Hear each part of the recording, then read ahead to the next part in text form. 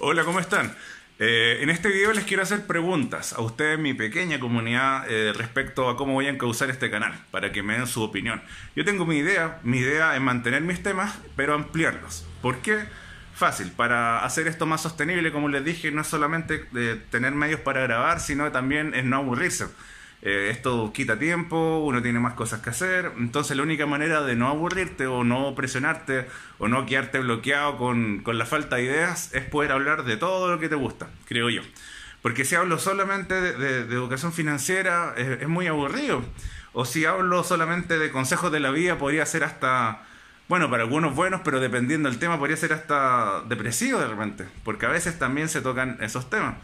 Entonces me parece mucho mejor enriquecerlo con todas las cosas que tengo en la mente, con todas las cosas que me gustan, con todas las cosas de las que sé algo, un poquito que te podría aportar. Y, esa es mi duda. Entonces quería ver cómo, bueno, somos una comunidad pequeña, así que de esa manera también es más fácil. Si tuviera muchos suscriptores eh, que les salga con otros temas, probablemente los podría molestar. Eh, pero como somos pocos, creo que me puedo dar el lujo de probar. Y si te, te has dado cuenta, ya he hecho algunas pruebas. Las hice en el pasado, antes de irme. Si te fijas bien, la mayoría de los temas que yo he tratado son de inteligencia financiera, consejos de la vida, un poquito de economía básica, emprendimiento, pero también hice por lo menos un par de videos hablando sobre la importancia del deporte en la vida, importante, eh, porque la vida no es solamente plata. Así que encuentro demasiado fome, aburrido, monotemático hablar solamente de negocio y eso. El ánimo no está para eso. ya si viste mi video anterior, ¿para qué te voy a explicar de nuevo? Pero yo creo que uno en la vida debe ser integral. ¿Ya? Y yo lo soy y bueno, mi comunidad me gustaría que también lo fuera. O viera los beneficios de, pensar integralmente. Eh, ya, pues, pero también grabé otros videos de. Grabé un video de cosas misteriosas. Eh, a mí, como saben, me gusta mucho leer. Y grabé un video que tenía un poquito de misterioso, que era. ¿Cómo se llama? Bueno, el video búsquelo por Caballo de Troya en mi canal y te va a aparecer. Y tenía un toque misterioso. Eh, esa onda fue una prueba, fue un testeo. Porque ese video no tenía como nada que ver con el resto de videos, pero era para ver la reacción de ustedes. Y ese video, la verdad, igual le fue bien. Pero solamente que no seguí con esas temáticas. Pero me parece interesante. Entonces ya, hablé de economía, emprendimiento, eh, finanzas personales, mucho Kiyosaki, un poquito de deporte, probé el tema del misterio. Y hasta ahí me quedé. Pero, mira, estos son otros temas que a mí se me ocurren. Eh, bueno, la primera pregunta es, ¿te molesta que yo amplíe mis temas? Por ejemplo, ese video del misterio, que no tiene nada que ver con el resto de mi canal. Si en vez de un video, que pasó muy piola, pasó como colado, eh, si en vez de un video fuera, no sé, pues un video al mes, de repente, eh, o un video cada tres semanas de eso, ¿te molestaría? ¿Te incomodaría que te saque de los temas típicos? Yo encuentro que también hay que entretenerse un poquito. Pero no entretenimiento vano como el que a mí no me gusta mucho, que tanto meme, que tanto challenge y TikTok y todas esas cosas, sino que, por ejemplo, ese video tenía algo cultural, si partía de un libro de este grueso, así es Caballo de Troya, y es una saga de, si mal no recuerdo, son nueve libros de este volado, así gigante. Entonces, eh, era entretenimiento cultural de todas maneras. Eh, pero le molestaría encontrar videos de otros temas, eh, o mejor me hago otro canal de esos otros temas. Porque miren, estos son los temas que, los temas que manejo en este canal actualmente, finanzas personales, consejos de autoayuda, economía muy básica, emprendimiento, mejoramiento personal. Eh, y también pensé hablar sobre consejos de amor y deporte. Eh, no me subestimes en cuanto al deporte, si yo estoy gordo es por, por mi, mi buen gusto, por el buen comer, digamos. Pero deporte creo que te puede aportar de todas maneras, sobre todo a los que van a partir. Eh, que se pueden sentir muchas veces intimidados o muy distantes con canales de youtubers que son musculosos, que son deportistas, que son sumamente fitness. Yo creo que una persona normal no llega de, la normalidad y del sedentarismo a un canal fitness a ponerse las pilas fuertes. Pero creo que puede ser mucho más cercano para él ver una persona común y corriente que le hable de deporte, que quizás es un área que siempre quiso intentar, pero nunca se animó. Entonces creo que igual podría ser un aporte. Ahí hay un nicho, hay un nicho ahí, deportistas principiantes, personas normales. Eso. Em, y consejos de amor también es un área en la que te puedo decir muchas cosas. Eh, bueno, yo como les dije, parte de, la, de los sinsabores que tuve los dos últimos años, que ya pasaron, ya quedaron atrás, gracias a Dios, eh, el último año, más que la pandemia, que obviamente nos afectó a todos, eh, más que el, estallido delictual que hubo acá en Chile, también yo, en lo personal, tuve un problema fuerte a nivel eh, sentimental, digamos, una relación muy larga que terminó. Nadie te enseña cómo sobrellevar eso. Pero bueno, el tiempo, el tiempo cura y, y lo importante es saber sacar reflexiones de esas cosas. Entonces yo pienso que cuando algo malo te pasa, por ejemplo, que a mí ya me pasaron los dos años que ya quedaron atrás, de los que no quiero volver a hablar, me pasaron varias cosas malas. Pero si yo las dejo ahí y las uso solamente para quejarme, para estar triste, ¿qué gano? ¿Quién más gana? Nadie, nadie gana nada. Pero si yo de ahí me apalanco y saco lecciones para darte algún consejo, bienvenidos pues, te puedo ayudar bastante. Eh, así que en el tema amoroso también podría dar consejos porque no quiero que suene como, uh, amoroso. No, no, no sería amoroso de esa onda, sería amoroso, amoroso centrado, de repente ver el tema, eh, no sé, pues tal vez superar una ruptura o, guiarte con alguna cosa y tú me puedes comentar si te sirven esos temas. Yo creo que sí, porque por amargado que sea una persona, todos hemos amado a alguien o nos hemos enamorado o nos gustaría enamorarnos tal vez. Y, y nadie te enseña eso, nadie te guía eso, nadie te comparte eso. Y considerando que este canal en su mayoría lo ven hombres, eh, yo creo que uno puede partir mucho más de cero porque entre hombres no hablamos, no hablamos esto. Nunca hablamos de, amor, menos si estamos tristes, mucho peor.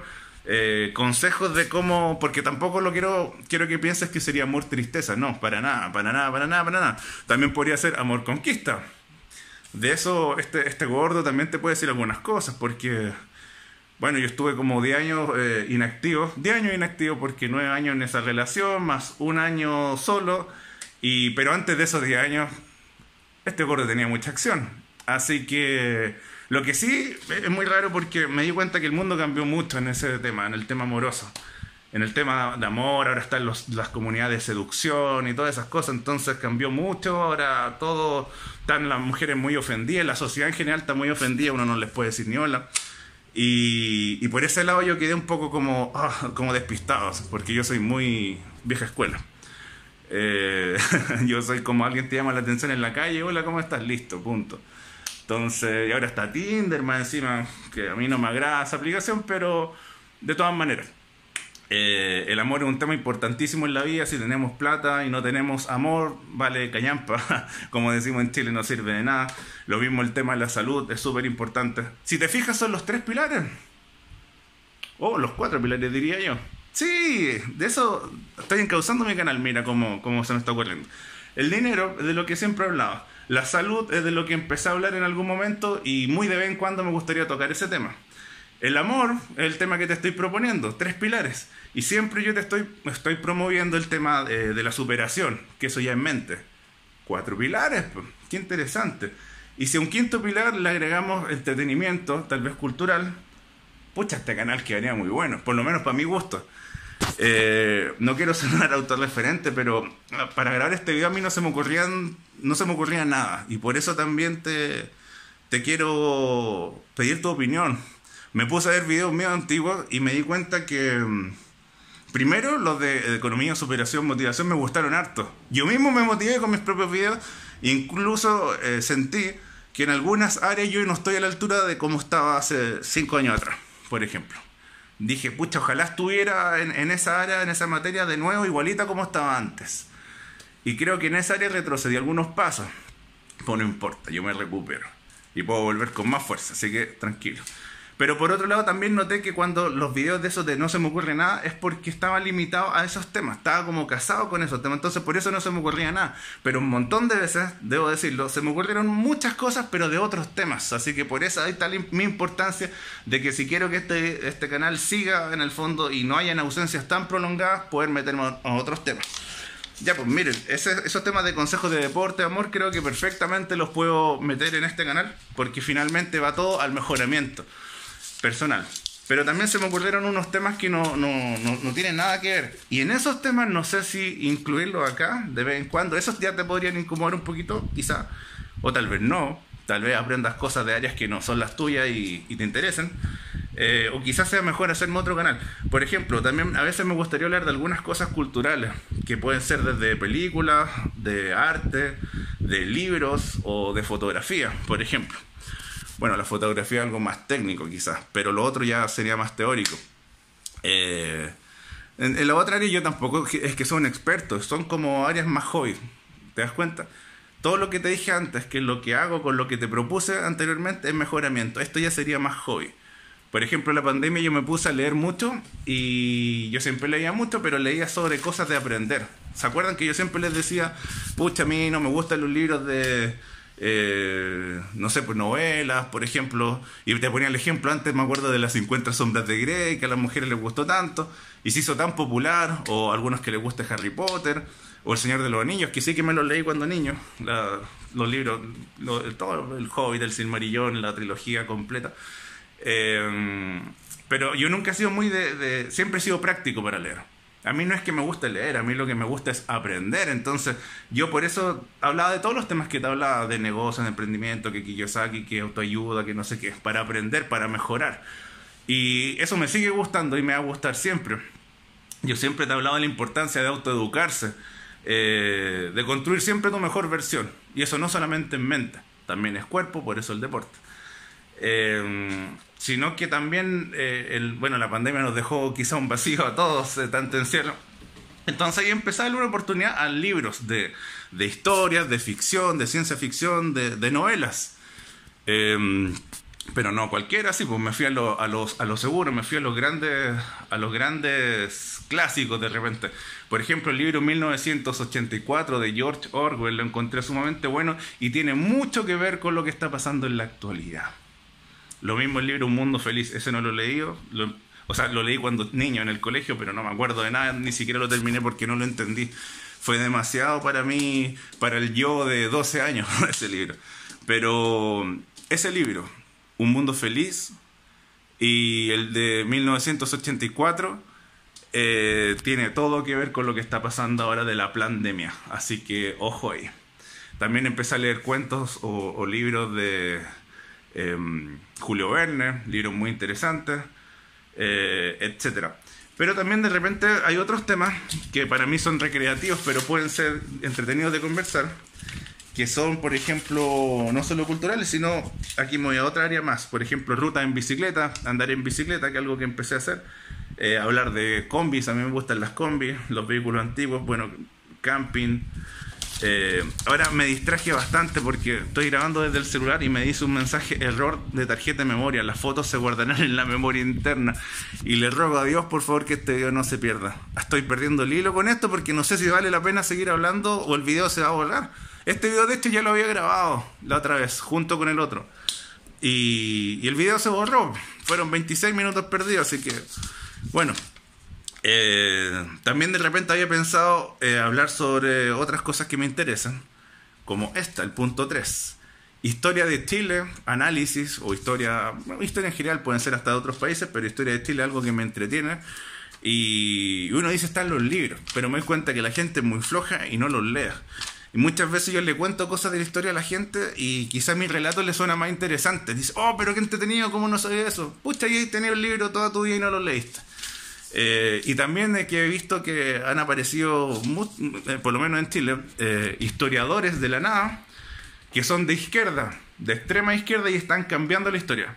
Están cambiando, la están reescribiendo la pinta de ellos sin ninguna evidencia, sin ninguna fuente confiable de la época, están inventando lo que a ellos se les ocurre que apoye su discurso. Y eso obviamente da, da, da pena y da rabia también porque en no hacerle honor a las personas que formaron la historia de este país.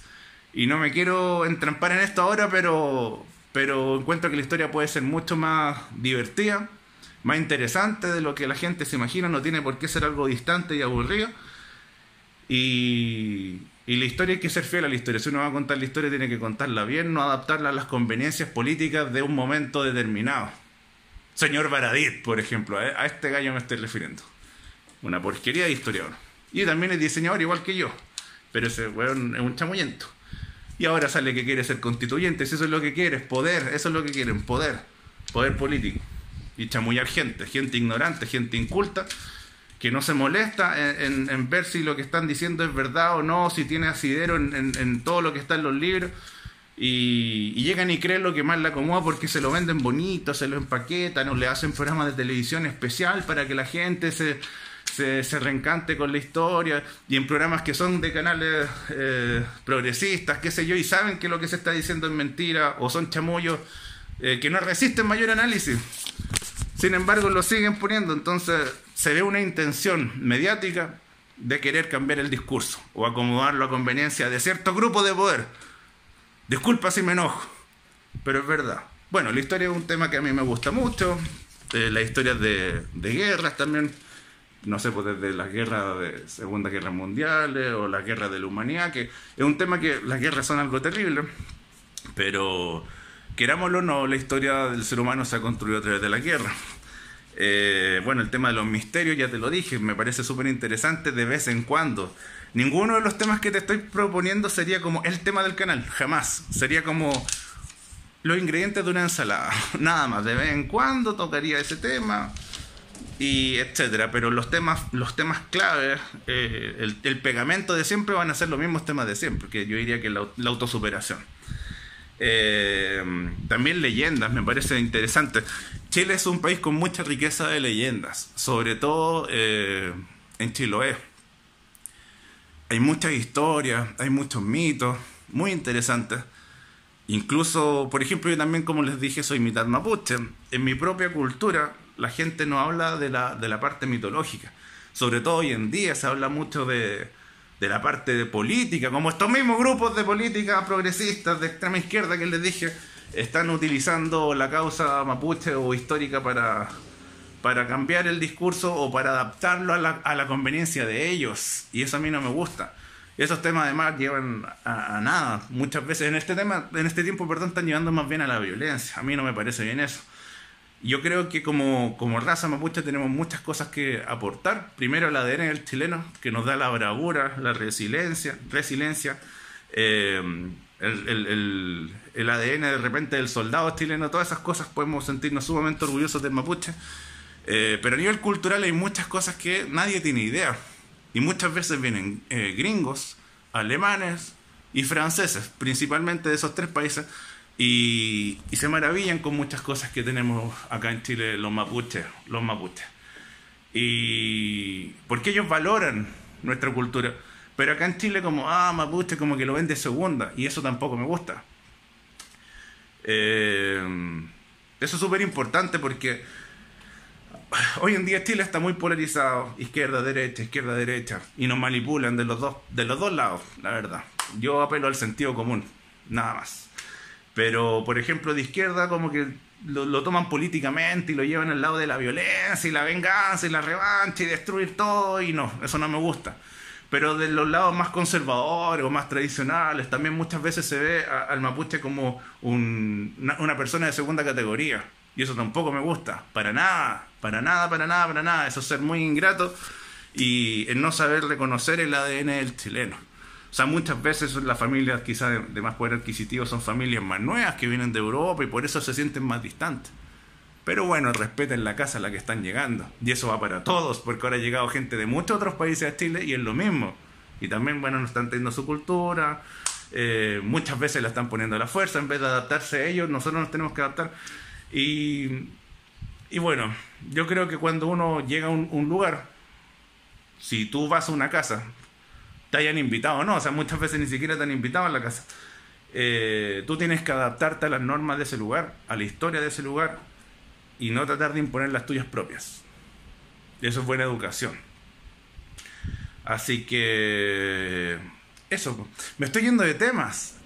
Se dan cuenta y, al final de, todos los temas que les he dicho podrían salir tres canales distintos. Uno era el de la autosuperación, del, del deporte, los consejos de la vida, del dinero, del amor todo eso podría quedar en este canal.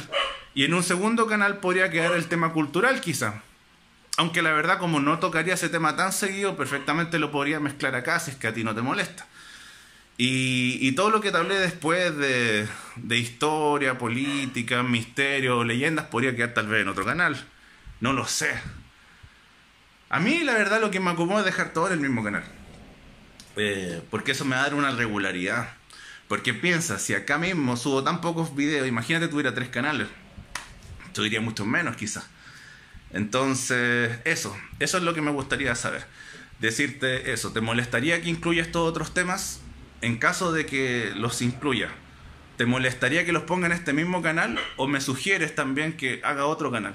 Porque también hay una, una mirada desde el suscriptor que quizás no quiera que le cambie los temas, pero también hay una mirada desde, mi propio canal, desde segmentación de público. O sea, si mezclo muchos temas, es que mi mente es así, mi mente es así, tiene muchos temas.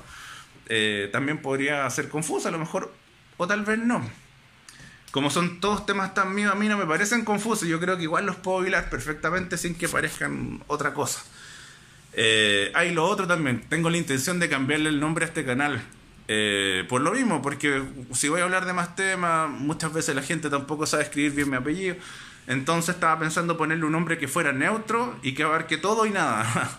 Por ejemplo, si solamente lo dejo en superación, en los temas que ya he tratado, podría ponerle, por ejemplo, no sé, mi amigo Felipe o el Rincón de Felipe. Yo sé que estos nombres son muy mamones, pero son una idea nomás que te tiro. O también había pensado en el nombre Mejorar sin parar, por ejemplo. Que me gusta mucho igual. Me gusta mucho porque todo lo que siempre te he hablado va apuntado a la superación. Y, pero si meto estos temas que te digo más culturales, tal vez no, ese nombre no, no pegaría mucho. Entonces también si me puedes tirar alguna idea de qué nombre le podría poner a este canal, bienvenida sea. Por favor, déjame tu opinión. Por favor, déjame tu opinión. ¿Qué nombre sugieres para el canal? Eh, si te gustan estos videos así más largos, los prefieres más cortos. También me gustaría mucho saber, como te digo, el tema de los temas, si me recomienda abrirme otro canal eh, o meter algunos temas aquí. Eso amigos, que estén muy bien, que Dios los bendiga. No tengo idea de qué voy a hablar en el otro video, así que también esto es lo más importante. Por favor, déjame ideas de qué te gustaría a ti que yo tocaré en siguientes videos, en cualquiera de las áreas que te acabo de mencionar. Porque de verdad estoy como... Me desaparecí tanto tiempo que perdí mucho el ritmo y no se me ocurren muchas cosas. Tengo la información acá en todo caso. Así que eso, dime qué te gustaría ver y ahí lo vemos. También me gustaría hacer un especial mil suscriptores porque somos 1010 personas. Yo sé que suena poco, parece una cifra modesta. Pero imagínate ir al baño y que hay una fila de 1010 personas. Puta, ya no me parecen pocas personas, me parecen hartas. Así que le agradezco a todos, a todos los que me siguen, a todos los que me han tenido paciencia estos años y que me han sabido esperar. Muchas gracias amigos, que estén muy bien. Un abrazo gigante. Chao.